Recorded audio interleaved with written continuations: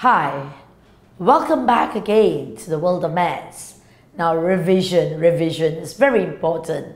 I just had a student coming and telling me, Hey, Mrs. Kumar, you know what? I did very well in my Sec 4 part, but when it came to my earlier, I screwed it up. I said, What? I screwed it up. And I said, Oh, oh, so your basics are not right. You need, see, see, I'll be very frank with you. She just, this girl's a new girl, she came to me, but she improved in her secondary four. But maths takes time to develop, right? And if you had all your earlier work in place and get it strong, that will make you strong. All right, so that's why the revision is needed. And I know my students, some of them who are new with me, need to build up on the basics. And I want to tell you, my dear boys and girls, look through your revision.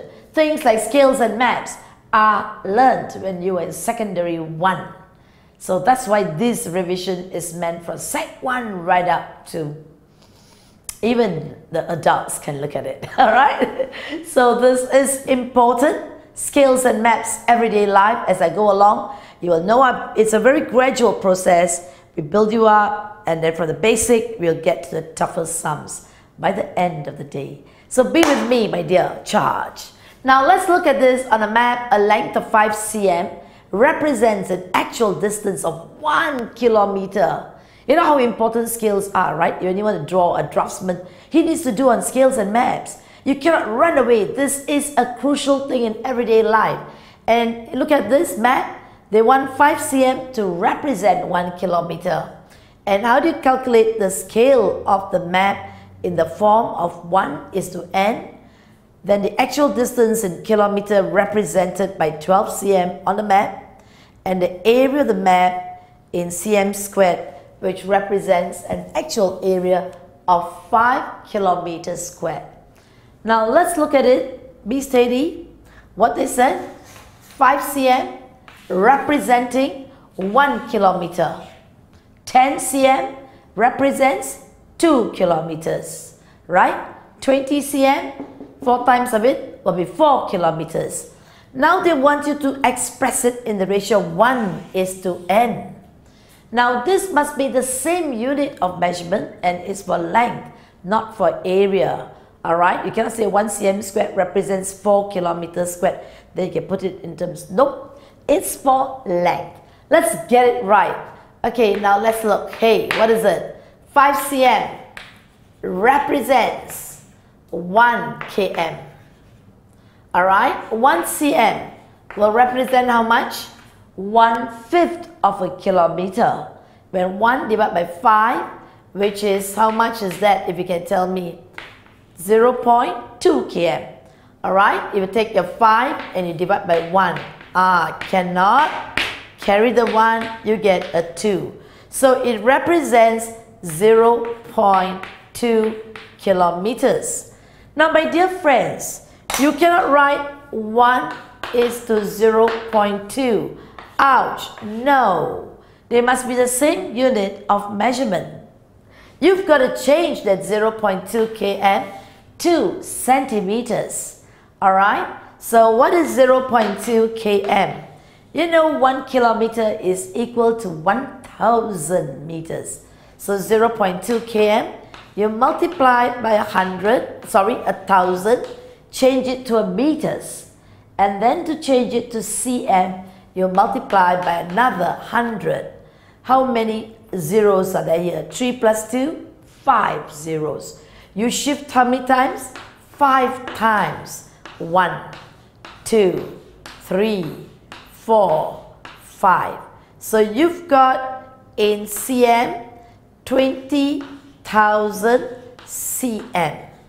0.2 kilometers is 20,000 cm. Now, one kilometer, just to take note, everybody, one kilometer is 1,000 meters, and one meter is 100 cm. All right? So, if you were to look at one kilometer, look at one kilometer, you want to change it to cm, 1,000 meters, you want to change it to cm. Every one meter is 100. 1,000 meters will be a thousand hundred cms. A thousand hundred cms, if you look at it, three zeros, two zeros, five zeros. This is what you get. Alright, a thousand of a hundred, 100,000 times. Three zeros, two zeros, you get five zeros, and that's in cm. So what is 0.2 km? I just really want to reinforce this basic knowledge. So that's why I'm going into it. You multiply this by 0.2, 100,000 times 0.2. You get 2 and you shift right. You just put these numbers down first.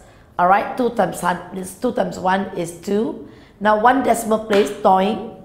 You put a toing. So what do you get? You shift, you put a point here.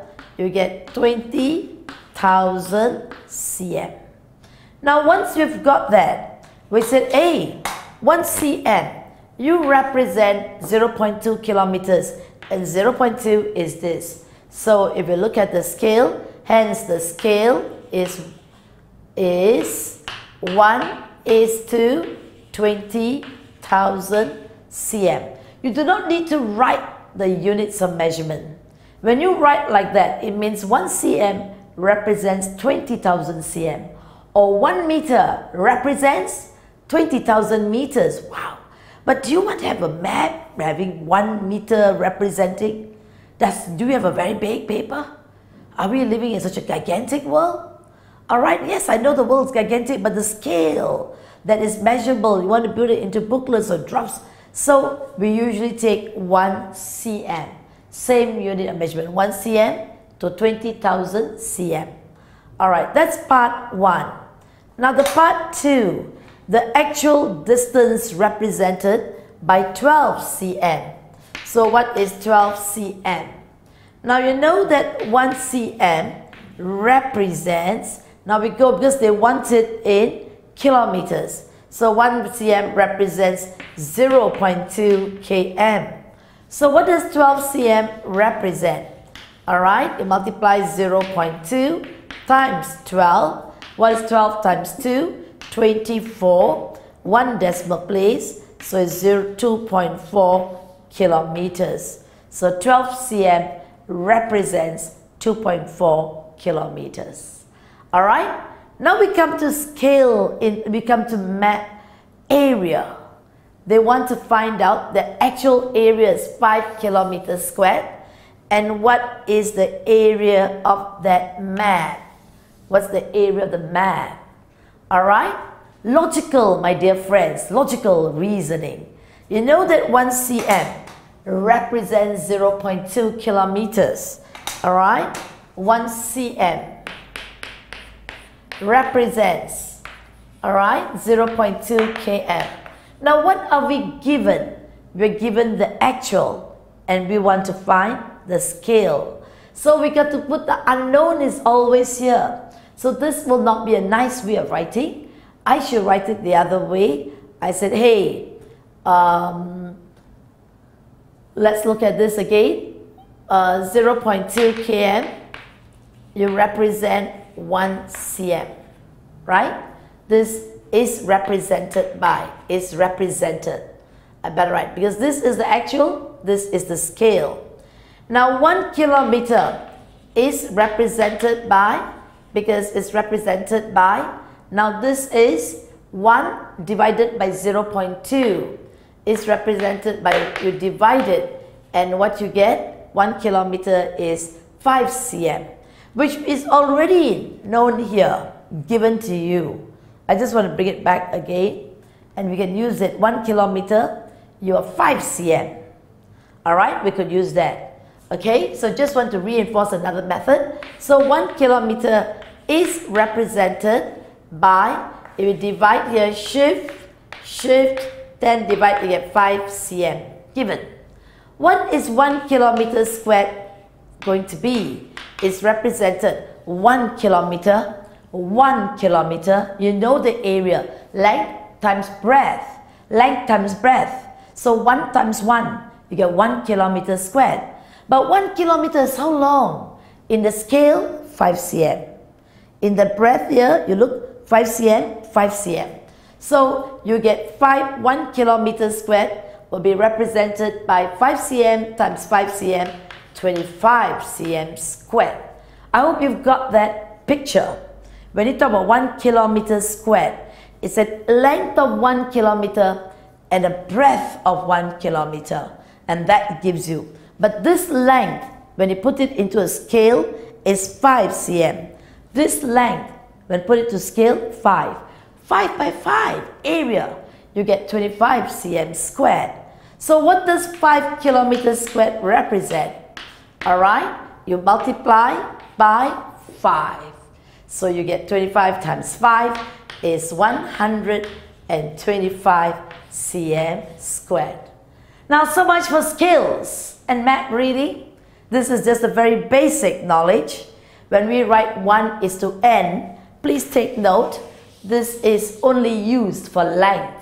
I can't say A, 1 for area. No, this is for length. And we've got to be very watchful. They're the same unit of measurement. Alright? And we'll come to question 2. As we move on, you'll see the level of difficulty. Hang on.